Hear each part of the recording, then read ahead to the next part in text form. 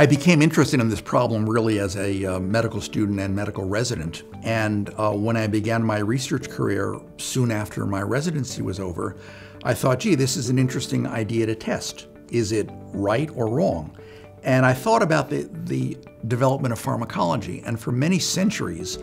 doctors would use drugs because they thought it was a neat idea to use this or that. And nobody really did studies of whether that drug worked. And it was really only after World War II that it became routine to do randomized controlled trials of drugs. And then I realized that we do a lot in health policy that is kind of like pharmacology was uh, 200 years ago. That is, somebody gets a good idea, says, I think everyone should do this, they do it, and no one really evaluates if it works. So it became clear that if this idea of academic detailing, of marketing evidence to doctors from a nonprofit, evidence based perspective, if that really worked, we ought to be able to show that it works in a randomized controlled trial, just like we would show that a new drug works by doing a randomized trial where some people get drug A and some people get drug B and you see how they do. So some of the earliest work involved setting up a nationwide study that involved 435 doctors and we randomly allocated them to either be offered this academic detailing service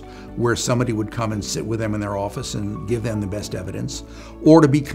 where we would just trace their prescribing and in both cases it was done through the Medicaid programs in four different states. And at the end, we would see if there was an effect, it must have been because of the intervention, because it was a randomized trial of this new kind of approach.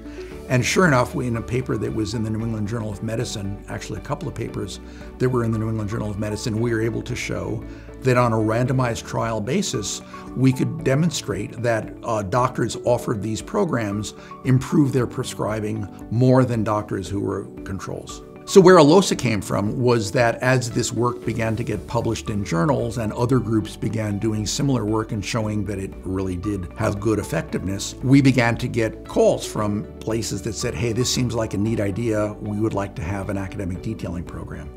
And it became clear that the best way to do that would be through a nonprofit organization that would be able to be lean and mean and just focus on getting the work done as cost effectively as we could do it.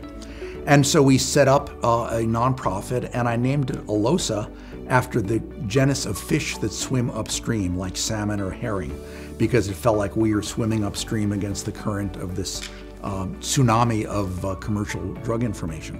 And in fact, I have my tie has a little salmon on it to reflect the swimming upstream aspect of what we do. And we created ALOSA in 2004, and we've been receiving contracts usually from government entities that say that it is in the public's interest for the government to support a different voice in the doctor's office so that he or she can hear about people who are only beholden to the evidence and not on commission to try to increase sales of a product. And as the movement grew, uh, more and more entities came to us and said, Can you do a program for us on this or that topic or any topic you like, just so we can have another voice in the marketplace of ideas for doctors to learn about drugs without any commercial influence?